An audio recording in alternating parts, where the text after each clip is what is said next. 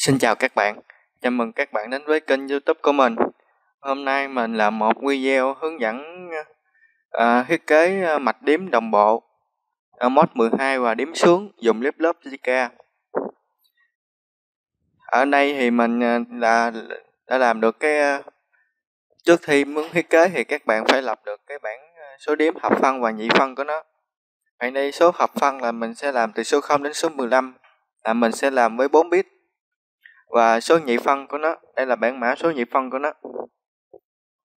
Sau khi bạn làm được cái bảng ờ, số hợp phân và số nhị phân của nó thì tiếp đến thì các bạn phải làm thêm cái bảng trạng thái clip lớp Zika thì ờ, ở đây mình đặt là trạng thái ban đầu là QI trạng thái kế tiếp là QI cộng 1 thì và trạng thái ngõ ra của nó là Zika thì ờ, trạng thái ban đầu của nó là không trạng thái kế tiếp của nó là không thì Zika sẽ là không x còn uh, trạng thái ban đầu của nó là không trạng thái kế tiếp là một.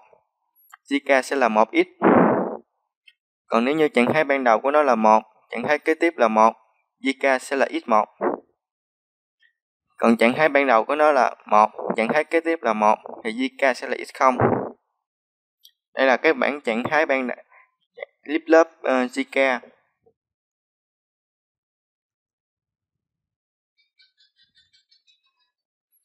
các bạn phải làm được cái bảng này. Sau khi có được cái bảng này thì các bạn tiếp tục làm đến cái trạng thái ban đầu và trạng thái kế tiếp của nó.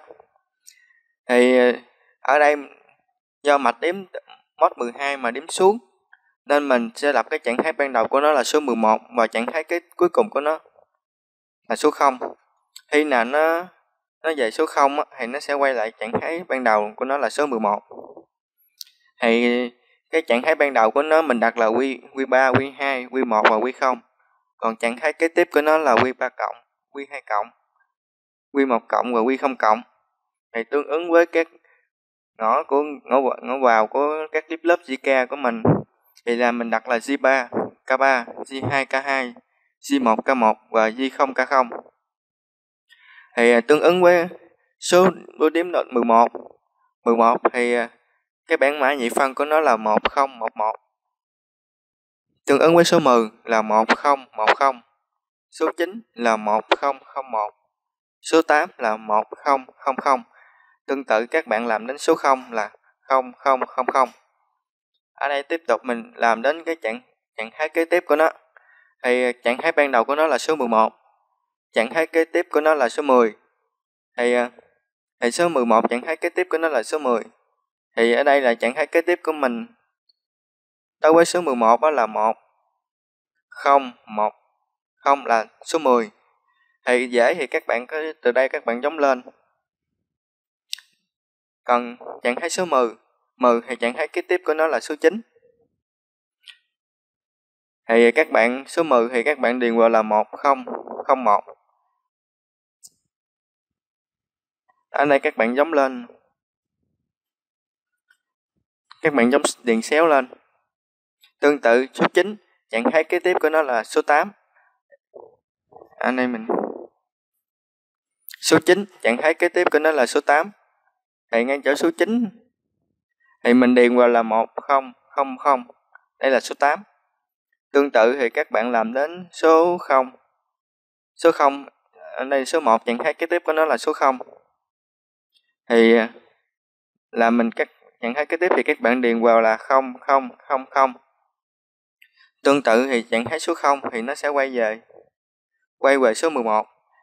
Thì số 11 thì số bảng, số nhị phân của nó là 1011. Đó là mình đã làm cho các bạn cái mạch, cái ờ, trạng thái ban đầu và trạng thái kế tiếp của nó.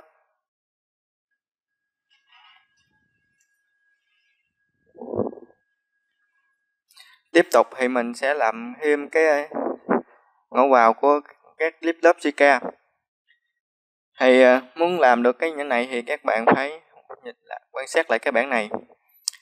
Ở đây thì các bạn thấy là đây là mình đặt là trạng thái ban đầu và trạng thái kế tiếp. Và tương ứng với ngõ ra là G và K. Thì ở đây G3 của Q3 của mình.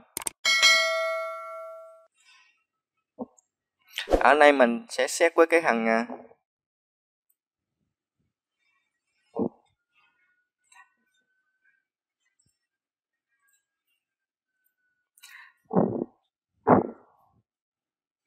ở đây mình sẽ test với cái thằng ờ, Q3 thì ờ, trạng thái ban đầu, còn trạng thái kế tiếp của nó là Q3 cộng. Thì các bạn quan sát, ở đây mình các cắt ngõ ra là C3 K3 thì trạng thái ban đầu của nó là số 0 ở số 1 trạng thái kế tiếp của nó là số 1 JK sẽ là x0 các bạn quan nhìn, các bạn quan sát đây nè.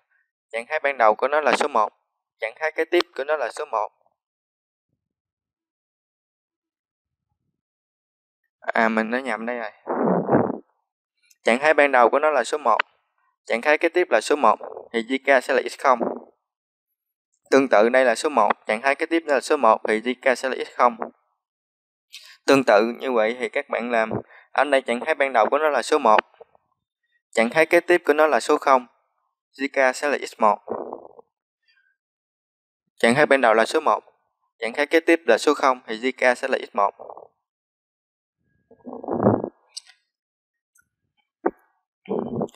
Tương tự, còn ví dụ như trạng thái ban đầu của nó là số 0, trạng thái kế tiếp là số 0 thì JK sẽ là 0x.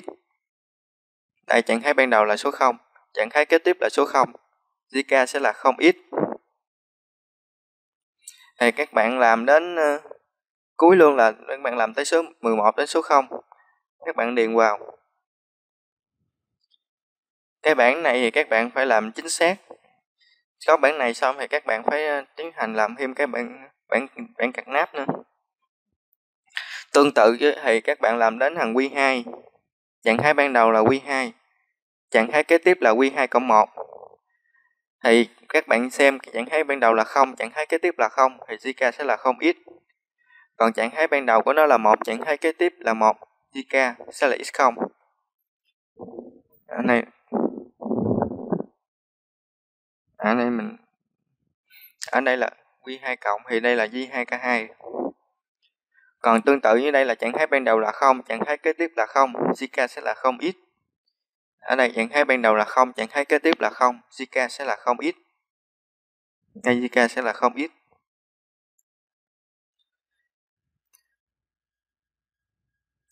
Tương tự như vậy thì các bạn làm với Q1 và Q1 cộng là trạng thái kế tiếp và các bạn điền vào cái cột là C, C1K1. thì các bạn nhìn cái trạng thái ban đầu của nó và trạng thái kế tiếp của nó. Thì các bạn sẽ điền vào 0, 0x hoặc là x0 hoặc là 10 hoặc là x1 thì các tương tự thì các bạn làm với thằng Q0 và Q0 cộng.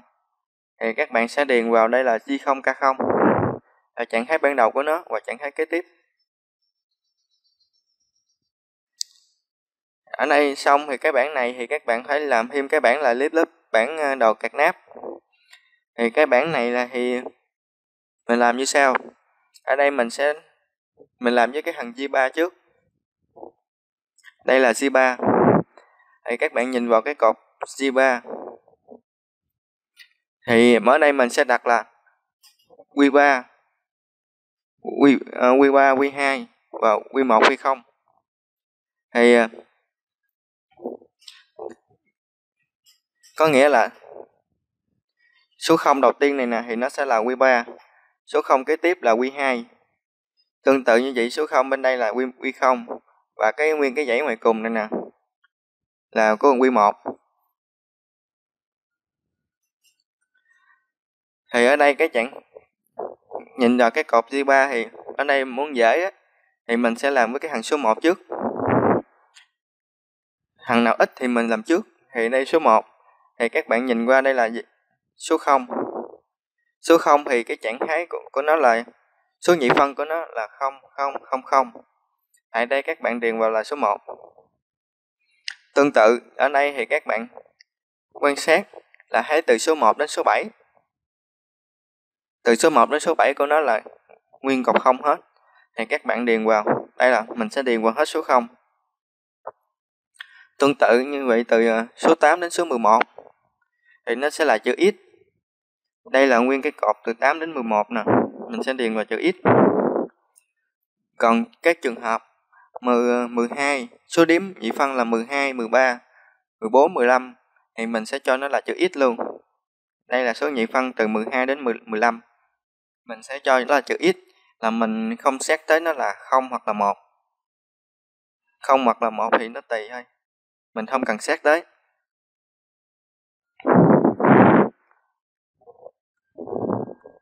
Ở đây mình sẽ tiến hành gom cái bản đồ gạt nắp này. Ở đây mình gom như sau. Ở đây số 1 này nè. Mình sẽ gom với chữ x ngoài cùng này. Ở đây thì số 1 này thì là tương ứng với là 0000 các bạn nhóm hàng và cột thì nó là 0000 còn cái chữ x này, thì các bạn nó đang ở cột là 10 và hàng của nó là 00 thì các bạn điền vào 1000 sau khi có được cái này thì các bạn quan sát là từ trên nhìn xuống thì nó giống nhau á. Thì các bạn ờ, ghi nó lại. Còn nếu như mà nó là từ 0 đến 1 á thì nó khác rồi nên mình sẽ bỏ nó đi bỏ cái cột ngoài cùng này đi. Thì nó sẽ còn lại là ba số 0 tương ứng với là Q0, Q1 và Q2 do cái này mình đang gom theo phương pháp là XOB tổng của các tích. Do đó nên cái số là Q0, Q1, Q2 mình phải đảo nó lại. Ở đây thì mình sẽ có được là Z3 tương tự với cái thằng à, K3 K3 thì các bạn quan sát trên đây. K3 thì nó chỉ có cái hàng số 8 là số 1 thôi.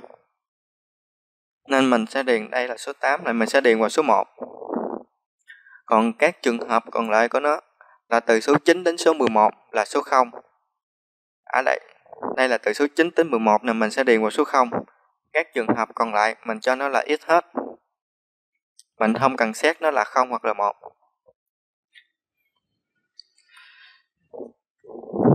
sau khi xong thì mình sẽ tiến hành gom nó lại. Ở đây mình sẽ gom theo 4 thì tương tự như hồi nãy thì cái chữ x, nó đang ở cột x, đang ở 00 00 thì mình sẽ điền vào đây là 0000 còn x kế tiếp là 0100 còn x kế tiếp nữa là 1100 còn chữ một ngoài cùng là 1000 sau khi gom thì mình quan sát thấy là hai số không ngoài cùng nó giống nhau nè. Thì mình sẽ gom lại nó là, là Q1 và Q0 còn các trạng thái hai cái số uh, bên bên trái của mình á nó đang chuyển từ 0 lên 1 và chuyển từ đây là 0 lên 1 nè nên mình sẽ bỏ nó đi. Mình không xét tới. Thì nó còn lại hai số 0 ngoài cùng. Thì hai số 0 ngoài cùng thì tương ứng với là Q1 Q0 do do này thì mình đang gom mấy hàng số 1 lại nên mình phải theo phương pháp ít ô bơi. Do đó nên mình phải K1, K3 của mình á, là bằng Q1 nhân Q0 và mình sẽ đảo nó lại. Tương tự như vậy mình sẽ làm bằng G2 thì G2 mình sẽ gom ở đây mình sẽ gom nó như vậy. Gom hai hàng lại. Ở đây x x thì nó đang nằm ở 11 và hàng của nó là 00 tương tự với số 1 của mình là 10 00 gom lại thì mình thấy đây là hàng chính giữa nó là từ chuyển từ 1 xuống 0 nè. Nó đã thay đổi trạng thái nên mình sẽ bỏ nó đi. Thì mình còn lại là uh, số 1 hoặc bên trái còn hai số 0 thì ờ, uh, C2 của mình á, thì nó sẽ bằng là Q3 tại vì đây là số 1 nè nên mình không có đảo lại là mình giữ Q3 còn hai số 0 á mình mình đảo nó lại là Q1 nhân Q0 vì kết quả của mình nó là G G2 á, là Q3 nhân với Q1 Q0 đảo. Tương tự mình phải làm với K2 thì K2 này mình gom thì mình sẽ gom 4 nó chỉ có là gom 2, 4, 8 và không có gom sáo nha các bạn. Thì gom gom như vậy, thì các bạn điền vào thôi. Chữ x là nó đang ở hàng à, hàng là 00 và cột cột là 00 và hàng của nó là 00 thì các bạn điền vào. Còn số 1 này là 0100 tương tự như vậy thì nó, các bạn điền vào. Sau khi điền xong thì các bạn quan sát thấy là hai số không ngoài cùng nó giống nhau nè hai số 0 này cùng nó giống nhau tương ứng với là Q1 nhân Q0 thì Q1 nhân Q0 á, là bằng à, đây. Do đó mình mình đang gom các số 1 giống nhau mà mình đang gom theo số 1 mà này thì nó đang là số 0 nên mình phải đảo nó lại. Là k1k2 của mình á, thì nó sẽ bằng là Q1 nhân Q0 và đảo.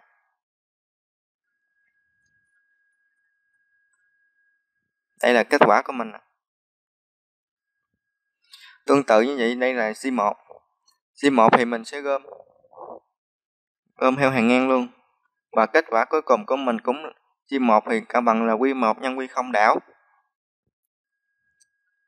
Ở cái file PDF này thì mình sẽ để dưới phần mô tả của video các bạn có thể vào đó tải về để tham khảo.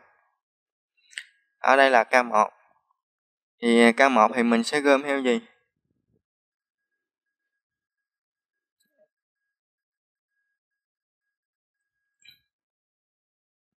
Sau khi gom thì mình ờ, quan sát.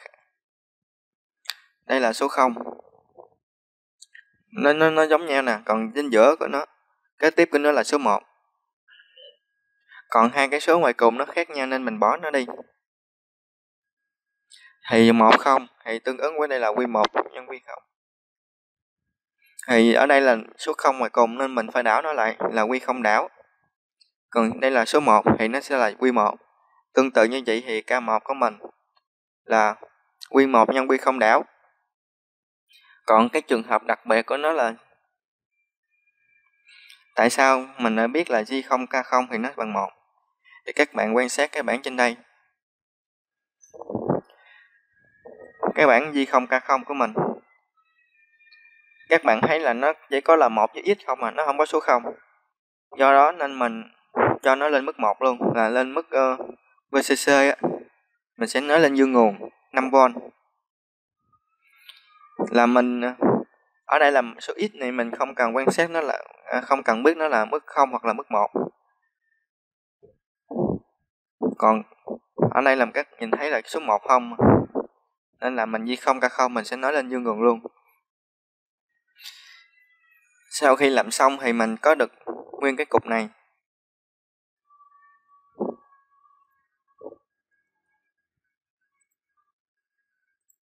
Mình có nguyên cái cục này. Thì ờ, nhìn vô cái cục này thì nguyên cái đống này là thì các bạn phải xác định mình là cái dùng cái cổng logic nào là cái cổng not, cổng and, cổng nen hoặc là cổng or chẳng hạn. Thì các bạn nào chưa biết dùng cổng nào thì vào à, kênh youtube. Vào youtube thì các bạn gõ lý thiết kỹ thuật số. Cộng với kênh youtube của mình là đam mê điện tử. Các bạn có thể vào youtube gõ là lý thuyết kỹ thuật số đam mê điện tử thì nó sẽ ra kênh youtube của mình mình sẽ nói về các cổng logic của này thì và cũng như cách gom cái biển đồ kẹt nắp như thế nào. Thì nhìn vào cái bảng này thì các bạn thấy là G0 K0 bằng 1 thì mình sẽ biết là nó lên VCC còn ờ, Q1 nhân Q0 đảo. Thì ở đây mình sử dụng là cổng AND cũng được, hoặc là cổng cổng NAND cũng được. Thì ở đây nhìn vào đây thì các bạn phải biết dùng cái cổng logic gì hai phép nhân là mình, một là dùng cống and hai là dùng cống nen. Sau khi có cái này thì mình sẽ tiến hành mô phỏng trên cái phần mềm GoTest ở đây mình sẽ phóng tự lên. Thì à, ở đây do mạch tím đồng bộ thì mình cắt cả tất cả các xung clock mình sẽ nói chung lại với nhau. Đây là tất cả các xung clock mình sẽ nói chung lại. Đó là mạch đếm đồng bộ. Ở đây ở đây các bạn quan sát đây là J0K0 bằng 1 J0K0 bằng 1 đây mình sẽ đặt là số 0 số 1 số 2 số 3 thì tương tự anh em mình sẽ đặt đây là số 0 cho số 1 số 2 và số 3 thì tương tự như đây là J0 K0 mình sẽ nói lên VCC nè. Dương nguồn. Tương tự như vậy thì à, uh, J1 thì mình nó sẽ bằng là Q1 nhân Q0 đảo. Ở đây diêm một của mình nè. Thì ở đây mình không dùng cái cổng nen mà mình dùng cổng and thì cái ngõ ra đây là quy quy không đảo nè. Mình sẽ nói vào cổng and còn quy một quy một đảo mình sẽ lấy vào trên đây. Đây là quy một đảo.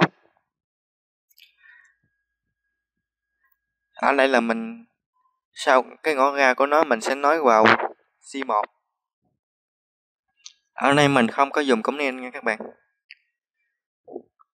còn ở đây là mình, còn ờ, K1 thì nó sẽ bằng là Q1 nhân Q không đảo. Đây là K1 của mình nè. Thì nó sẽ bằng là Q1 nhân Q không đảo. Đây Q không đảo nó đây. Thì đây là, thì cái ngõ ra của nó, ngõ ra cũng này này nè thì mình sẽ nói vào K1 tương tự như vậy. Thì mình làm với G2 G2 của mình thì nó sẽ bằng là Q1 nhân Q không đảo.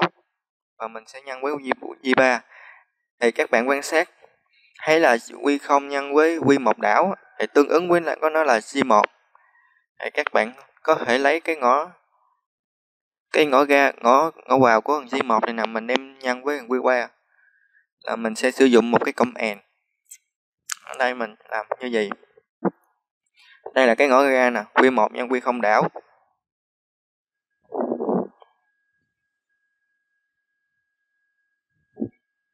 À cái này là mình ở đây của mình là G2 nè. G2 của mình thì ngõ ra của mình á thì nó sẽ bằng là đây là Q0 nhân Q1 đảo. Và mình sẽ đem nhân với cái thằng Q3 đây là Q3 nè. Thì, thì ngõ ra của nó mình sẽ nói về G2 G2 đâu? Đây G2 của mình là Q3 nhân Q1 nhân Q0 đảo. Nó ở đây ở đây là Q1 nhân Q0 đảo nè.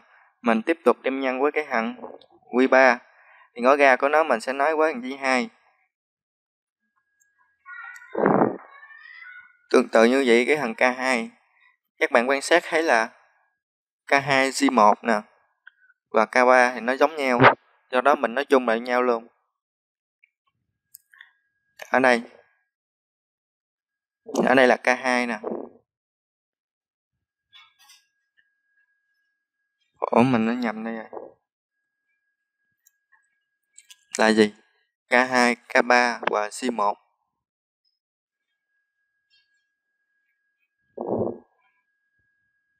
ở đây là K2 nè. Và G1 mình sẽ nói chung lại. Còn đây là K3 mình cũng nói chung lại luôn. Là ở đây như mình quan sát thấy là Q1 nhân Q0 đảo nè. Mình sẽ nói chung lại.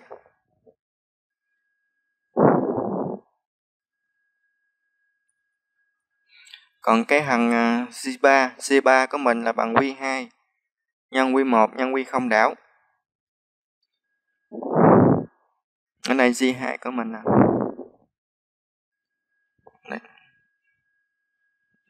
Ở, ở đây là mình G3 chứ lộn. C3 đây là G3 nè.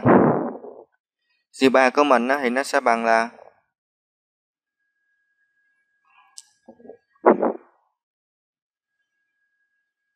ở đây mình đây G3 của mình đó thì nó sẽ bằng là Q1 nhân Q0 đảo. Mình mình tiếp tục mình đem nhân với đây Q2 đảo nữa. Đây là Q2 đảo.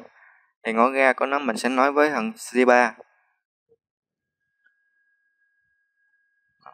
như vậy là mình đã thiết kế được cái ờ, mạch đếm từ ờ, mod 12 mà đếm xuống thì ở đây thì mấy con led này á, như những video trước thì mình đã nói tại sao mình đã mắc chéo như gì để mình muốn quan sát từ phải qua trái để mình dễ quan sát thôi. Ở đây mình sẽ mở cái phần mềm Tết lên để mô phỏng cho các bạn.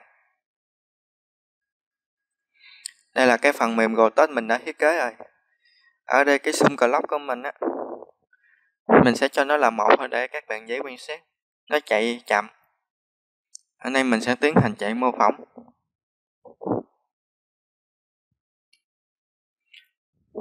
Mạch đang bắt đầu điểm xuống.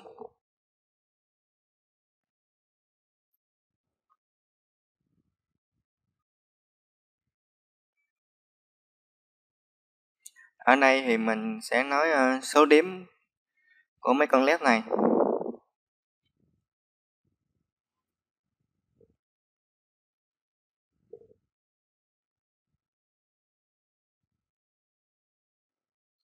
Đây là số 11, số 10, số 9, số 8, số 7, số 6, số 5, số 4, số 3, số 2, số 1 và số 0. Về số 0 thì nó sẽ quay về số 11 và nó điểm giảm xuống. Như vậy thì mình đã thiết kế cho các bạn à, mạch điểm mod 12 mà điểm xuống. Sử dụng clip lớp Zika.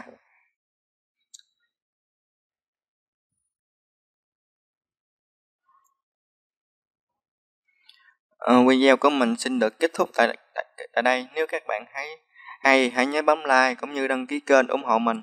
Xin chào và hẹn gặp lại các bạn.